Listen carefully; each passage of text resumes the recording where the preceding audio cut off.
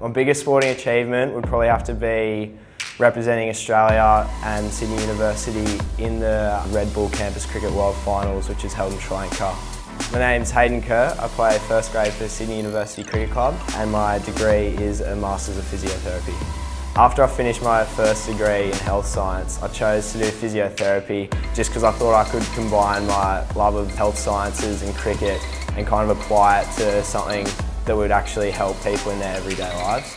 The best part about the EAP would have to be one, the facilities. Cricket gets sorted out so well here. And also just the people. The staff here are so driven. They always challenge you to be a better person every day. So my ultimate cricket goal would have to be playing for Australia, obviously first and foremost, but as long as I'm playing, I'm happy.